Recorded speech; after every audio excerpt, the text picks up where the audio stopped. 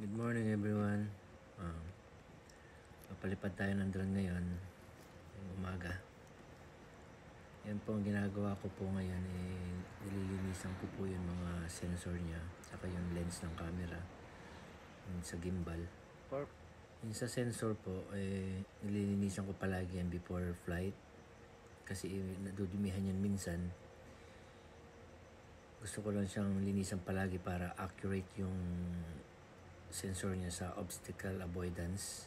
At kahit ano pa man sensor na yan para malinis siya at ano. Ako.